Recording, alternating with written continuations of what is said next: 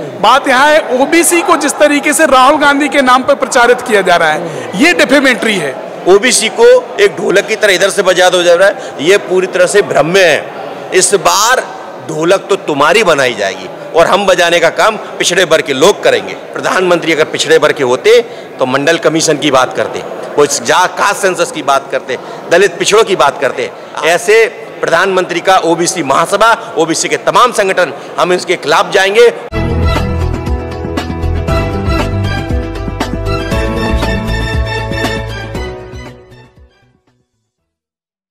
एक सबसे बड़ी बात है कि ऑल इंडिया लेवल पे एक बहुत बड़ा कार्यक्रम हो रहा है, जिसमें चीफ मिनिस्टर तमिलनाडु ने एक इनिशिएटिव लिया है, और जिसमें तेजस्वी यादव हैं, जो उप मुख्यमंत्री हैं, अखिलेश यादव जी हैं, राजस्थान के सीएम ये काफ़ी सारा एक ओबीसी वर्ग जो ऑल इंडिया लेवल पे है, छगन भुजबल जी हैं, ये ऑल इंडिया लेवल पे यूनाइटेड हो रहे हैं, और इसलिए हो रहे हैं कि एटलीस्ट सेंसस तो कराया जाए।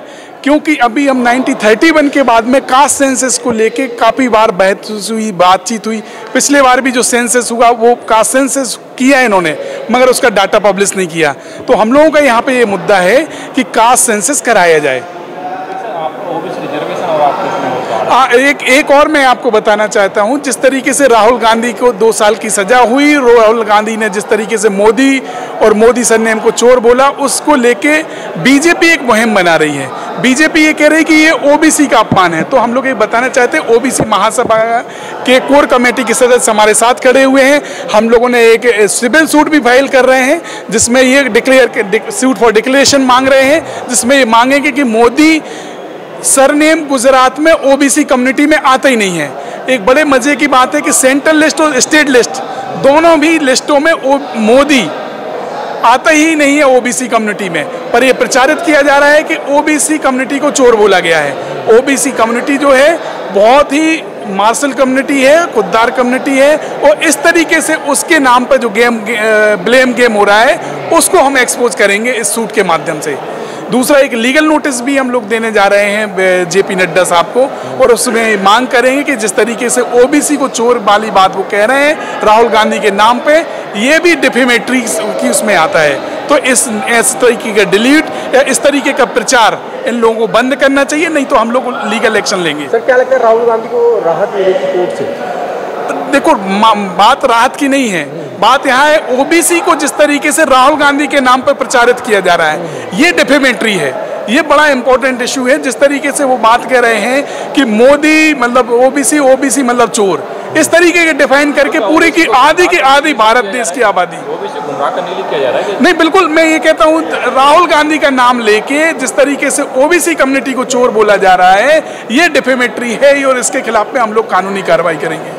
सर, एक चीज़ और है सर, आपके, आप मध्य प्रदेश में जो आरक्षण है ओबीसी का वो बिल्कुल ख़त्म कर दिया वो भी बड़ा इंटरेस्टिंग है, मध्य प्रदेश में ओबीसी कम्युनिटी का जो आरक्षण है, पहले ही लागू नहीं हुआ था, चौदह परसेंट मिल रहा था। जैसे तैसे कांग्रेस में कमलनाथ सरकार ने उसे सत्ताईस किया, और उसके बाद जैसी सरकार चेंज हो गई तो फिर उन्होंने रोक दिया। और आज भी उस पर प्रॉपरली पैर भी नहीं कर रही गवर्नमेंट तो इस कारण से 27 परसेंट जो रिजर्वेशन मिलना चाहिए था, वो नहीं मिल रहा है, जबकि सरकारी डाटा ये कहता है कि सिर्फ़ 10 परसेंट लोग ही ओबीसी के लोग काम कर रहे हैं। तो कहने का मतलब ये है कि जब 14 परसेंट रिजर्वेशन लागू है तो कम से कम 14 परसेंट तो करते।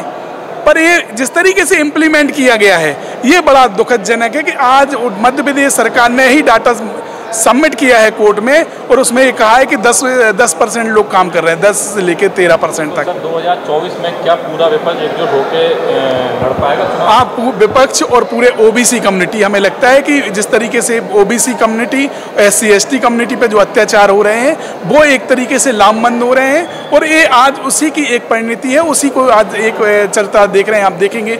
स्टालिन साहब भी जुड़े हुए हैं आपका तेजस्वी यादव जी भी जुड़े हुए हैं झारखंड के सीएम हेमंत सोरेन जी भी जुड़े हुए हैं, अखिलेश यादव जी भी आए हुए हैं, और तमाम सांसद आए हुए हैं, और ओबीसी वर्ग का बहुत बड़ा तबका जो इंटेलेक्चुअल वर्ग है पॉलिटिकली एक्टिव है, वो सब एक यहाँ पे इकट्ठा है। देखिए, ये बात सही है कि भारतीय जनता पार्टी और पहले भी पूर्व पार्टियाँ भी रहीं, उन्होंने मध्य प्रदेश के पिछड़े वर्ग के साथ धोखा किया गया।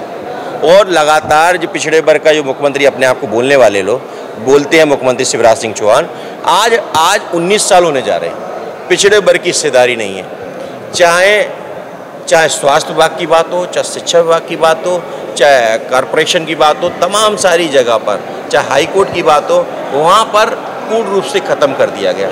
इसके लिए लगातार ओबीसी महासभा ओबीसी महासभा के ओबीसी महासभा के तमाम जो हमारे संगठन है वो वो भी लगातार जग, लड़, उस लड़ाई को लड़ रहा है सड़क से संतक तक। और इसके लिए हम लोग पूर्ण रूप से एकजुट होकर इस बार जो नग, जो वहाँ पे मध्य प्रदेश का चुनाव 2023 का होगा बिना ओबीसी के चुनाव नहीं होगा। तो क्या आप मतलब भाजपा को हरा पाएँगे पूर्ण रूप से करेंगे। देखिए इस देश में और मध्य प्रदेश में आधे से ज़्यादा आबादी हमारी है। हर दूसरा आदमी ओबीसी है।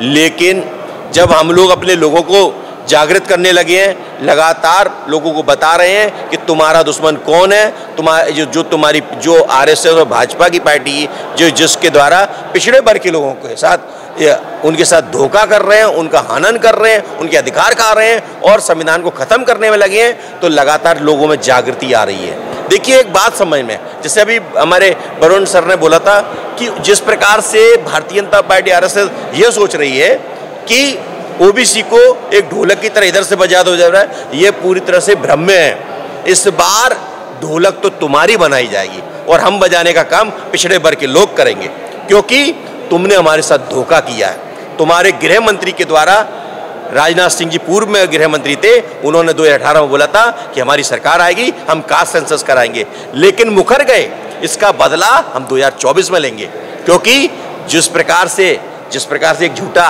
जो अभी पूरे देश के अंदर जो आज की तारीख में जो बदनाम करने का और एक एक, एक, एक जो गाली के नाम पर जो बोल रहे हैं कि ओबीसी को चोर बोला देखिए अगर वो चोर जो अगर वो बोल रहे हैं मुख्यमंत्री प्रधानमंत्री को चोर बोला प्रधानमंत्री अगर पिछड़े वर्ग के होते तो मंडल कमीशन की बात करते वो जा कास्ट सेंसस की बात करते दलित पिछड़ों की बात करते आज आज, आज दिनांक तक वो केवल मंदिर मस्जिदों की बात करते हैं सांप्रदायिकता की बात करते हैं और जिस और और उन उन जो अडानी, जो ग्रुप है मोदी, ललित मोदी है, उनके, उनकी गोदी में बैठकर इस देश के सबको लूट कर जा रहे हैं। ये पूरी रूप से पिछड़े दलितों का हिस्सा खा रहे हैं। ऐसे प्रधानमंत्री का ओबीसी महासभा ओबीसी के तमाम संगठन, हम इसके खिलाफ जाएँगे और सर ने जो बोला, हम पूर्ण रूप से ओबीसी महासभा के लोग और जेपी नड्डा को हम लीगल नोटिस दे रहे हैं और उनको बताना चाहते हैं कि आप प्रमाणित कीजिए कि मोदी जी ओबीसी के हैं। ओबीसी की सेंट्रल जो ओबीसी नाम का जो जो बोला है कि ओबीसी ओबीसी मोदी जाति ओबीसी की है कहीं भी देख लीजिए हमारी पिछड़े वर्ग का जो पिछड़ा वर्ग आयोग की जो सूची है जो ओबीसी की सूची है सेंट्रल की उसमें मोदी की कोई कोई जाति नहीं है वहाँ पे। और गुजरात में हमने देखा वहाँ भी कोई जाति नहीं है। इसके लिए हम सूट फ़ाइल करेंगे। और जो अपमान किया है ये पिछड़े वर्ग को जो आपने ढोलक की और, और डमरू की तरह बजाने का काम किया है, उसका बदला हम 2024 में लेंगे और इसके लिए चाहे हमको कुछ भी करना पड़े।